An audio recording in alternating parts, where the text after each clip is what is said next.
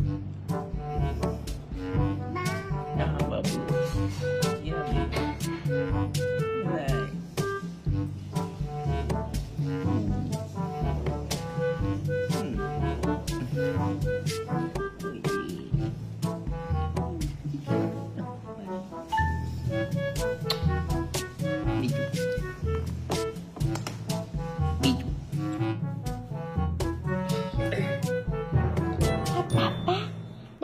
Đầu cho con á hả ba lau đầu cho con không có bị bị ướt đầu á hả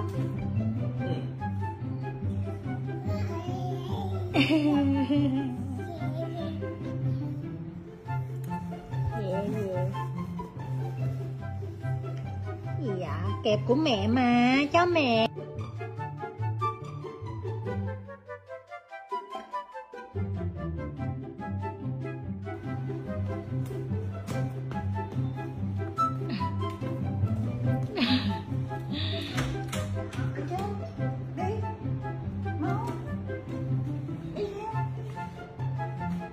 đi kìa đi kìa. Bye bye. Bye bye.